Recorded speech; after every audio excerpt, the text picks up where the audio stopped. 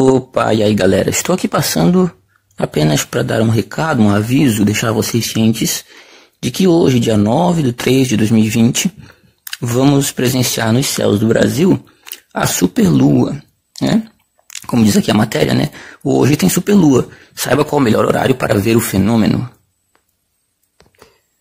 Na matéria diz o seguinte: Belo evento astronômico ocorre quando a Lua está cheia no mesmo momento em que está mais próxima da Terra em sua órbita.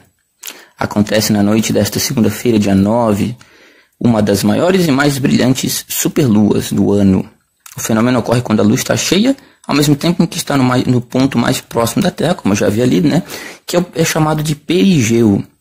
Sacam o perigeu? No Brasil, agora vamos ao melhor horário, né, para ver. No Brasil, o melhor horário para observar o fenômeno será logo após o pôr do sol, por volta das 19 horas. Entretanto, o momento exato do perigeu será algumas horas antes, às 14h48 no horário de Brasília, certo? É óbvio, né, que para ver a superlua não é necessário nenhum equipamento especial, basta olhar para o céu. Mas quem tiver binóculos ou telescópio poderá apreciar tudo ainda mais perto, de perto, como no vídeo acima, gravado em fevereiro nos Estados Unidos. E se você perder o espetáculo, não se preocupe, haverá outras superluas em cerca de um mês. Haverá outra superlua em cerca de um mês, no dia 8 de abril, certo? Então eu vou passar o vídeo aqui para a gente dar uma olhada. E o recado está dado. Deixar vocês cientes deste fenômeno, porque vai ser fácil de ver.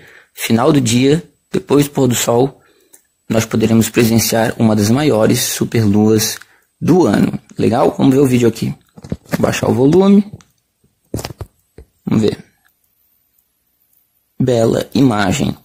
É isso que nós iremos presenciar no céu hoje, né? Uma lua cheia um pouco maior do que o comum, né?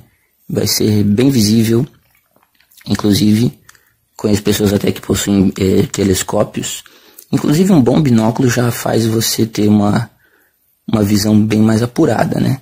Então é isso, gente. Eu vou me vou encerrando por aqui. Inscrevam-se no canal, ativem as notificações, deem o seu like, essas coisas assim, tá ligado? A gente se vê então no próximo vídeo. Um grande abraço.